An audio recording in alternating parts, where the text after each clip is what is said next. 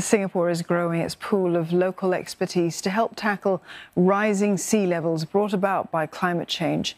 A newly launched research institute will play a big role in this. Studies carried out will be funded under PUB's $125 million Coastal Protection and Flood Management Research Program. And Claudia Lim tells us more. This tank may hold one possible solution to protecting Singapore's coastline. With a push, this wave is created and hits the shore. Sensors above measure the water level to analyze the impact on the shoreline. Data is compared when vegetation is added to the mix. We know that all of this vegetation can help us protect the coast. The level of protection depends on the species, uh, depends on density, how dense you plant them, depending on the water level, and depending on the height of this vegetation. The project HydroSPINS is one of nine which the newly launched Coastal Protection and Flood Resilience Institute at NUS is working on. And more researchers like Assistant Professor Lay are needed for developing such solutions. As a first step, the centre will pool experts from the other local universities as well as A-STAR. CFI gives opportunities where all can come together to form a consortium to solve complex problems. So we are people from engineering, we have scientists, we even have uh, biological science uh, experts to work on uh, nature-based solutions. The solutions will be critical for Singapore. The country is low-lying and the rise of sea levels will reduce the size of land available for housing, industry and other activities. This stretch where I'm at is where families come together, especially on the weekends, to have a nice picnic or enjoy the beach. But with climate change, all this around me could go underwater by up to 1 meters in about 80 years. And that is why there's a need to plan mitigation measures early, as land is scarce and every stretch of this coastline is highly valued. These mitigation measures will need to suit the local context. It is not possible to always uh, look at what other countries have implemented and to immediately apply in Singapore's context. So that will require us to understand um, how effective some of these solutions are in terms of our local constraints. Protecting Singapore against sea level rise is a new challenge, and there will be some uncertainties involved. And if you build too much, too early, it's wasted resources. If you build it too late, too little, you're not going to be in time. The Institute's coastal protection solutions will first be tested in a lab and then piloted on a small scale. The public can also share their feedback on some of these solutions at a dialogue planned for October. National Water Agency PUB will also share the trade offs and their potential impact on the environment. And we're taking a deeper dive into this. Ho Chai Teck is a deputy director at the Coastal Protection Department in National Water Agency PUB. He joins us here in the studios. Mr. Ho, good evening. It's good to see you. Uh, some projects uh, seem to be underway already uh, with CFI. Can you highlight a couple of them that seem to be making progress?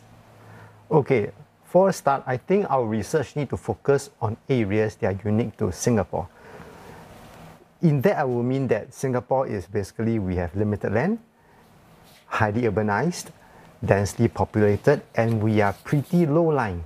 So research focused areas must address these issues to help us come up with new innovative solutions.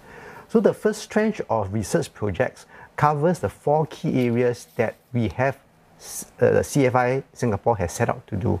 Number one is to study more about coastal science research we need to understand if climate change would result in changes to the storm surge patterns, changes to your tidal cycles, where the currents and waves could be affected. Second area is on monitoring and predicting Singapore's coastal environment.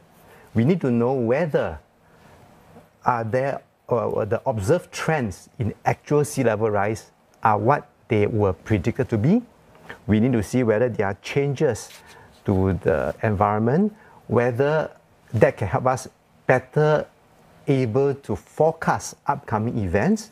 And finally, we should be able to monitor and track how the shoreline change over time. So obviously this is a very specialized area, sure. Mr. Ho, and not just specialized in the Singapore context. It gets even more specialized for all the reasons you just mentioned. That's right. So a steady pipeline of expertise, very, very important. Of course. To add on, because coastal protection measures take a long time from design to inception, we need to do some studies about it, design it, and eventually do the implementation. So with that, you need a constant group of people to not only do research, but to be on the ground to carry out the work. Mm. Well, efforts to protect Singapore's coastlines have been ongoing for a while now, with many measures already in place. Here's a quick look at current defences against rising sea levels. Now, for one, an array of concrete seawalls and stone embankments stand guard along about 70% of its shoreline. This familiar tourist attraction, the Marina Barrage in the south, is also part of the defence. It's not just an ideal picnic spot. Now, these dam gates help with flood control during heavy rains. Excess stormwater can be diverted and pumped into the sea when needed.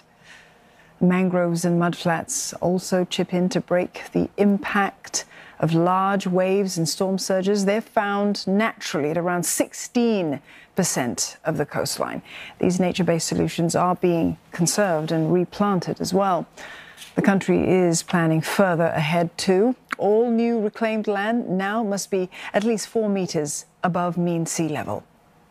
Along the northeast coast, Singapore is building its first polder at Pulau Tekong. Large dikes, 10 kilometres in length and 15 kilometres wide, keep out seawater to help reclaim land. Now, construction is halfway complete and is slated to finish by the end of next year. Well, back to our discussion of, uh, of what we've seen uh, Mr. Ho, we've got plenty of hard structures, you know, around our coastline. We have had for some years, and we're continuing to see that. We've got Polder now uh, under construction at Pulau Tekong. Uh, there is got to be this balance between having natural beaches as well. We don't really have very many of them left. I'm old enough to remember the ones at Changi, uh, but uh, is there going to be a trade-off? Will we eventually not see any beaches? Sure. I think if we want to have beaches, we need to design around it to ensure that the conditions and the environment ensure, uh, enable the beach to maintain the stable profile over the long term.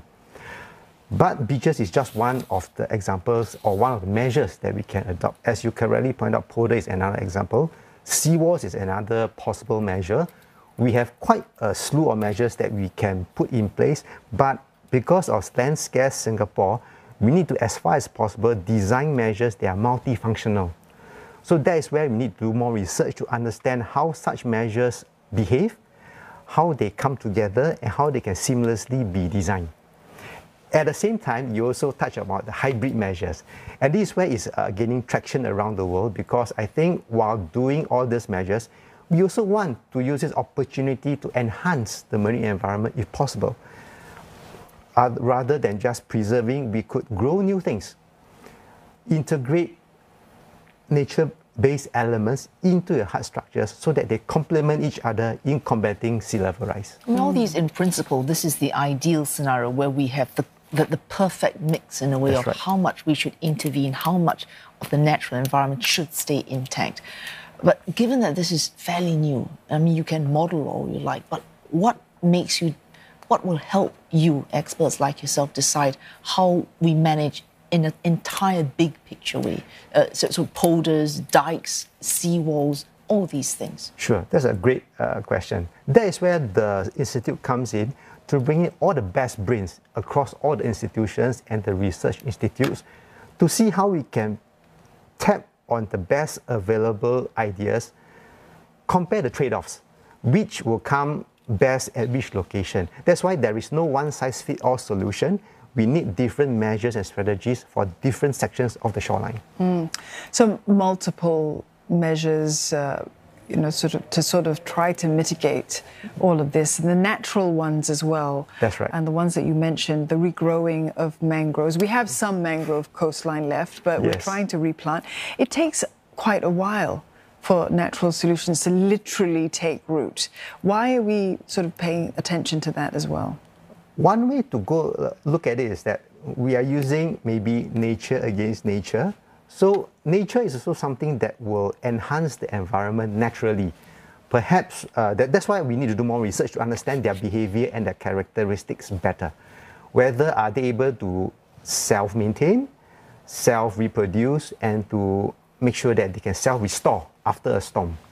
Oh, thanks so much for coming in to join us this evening, explaining all this to us, Mr. Ho Chai Teck from the National Water Agency, PUB. Thank, Thank you. you. Thank you. Thank you.